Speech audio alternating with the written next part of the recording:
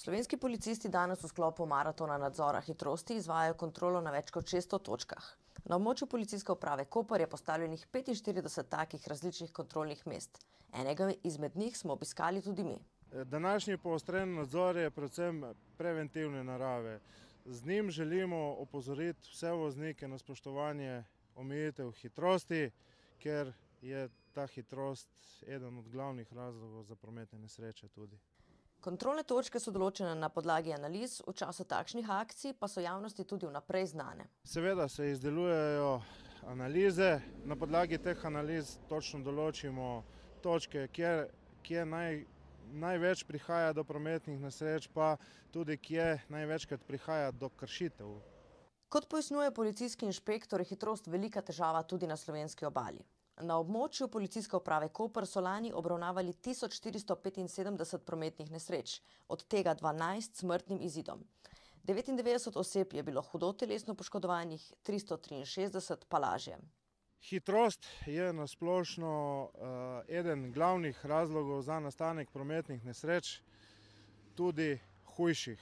Ravno tako je na območju policijske uprave Koper, kjer so v lanskem letu zaradi, vožnje s preveliko hitrostjo umrle štiri osebe. Med njimi celo trije vozniki enoslednih vozil.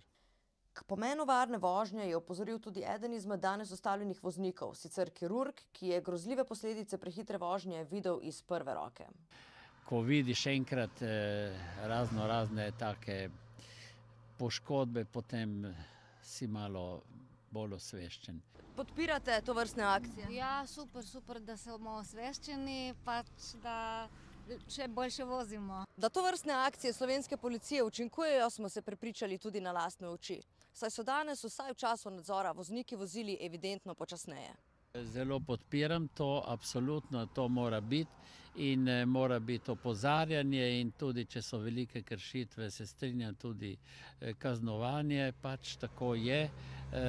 moramo seveda se vedeti, da je veliko, veliko, nesreč in poškodb zaradi velike hitrosti, predvsem pa, zaradi alkohola tudi, ne. Z doslednim spoštovanjem omejitev hitrosti in ustrezno prilagoditvijo vožnje lahko obvarujemo marsikatero življenje, še dodajajo na Policijski upravi Koper. Saj stopnja poškodb narašča sorazmerno s hitrostjo.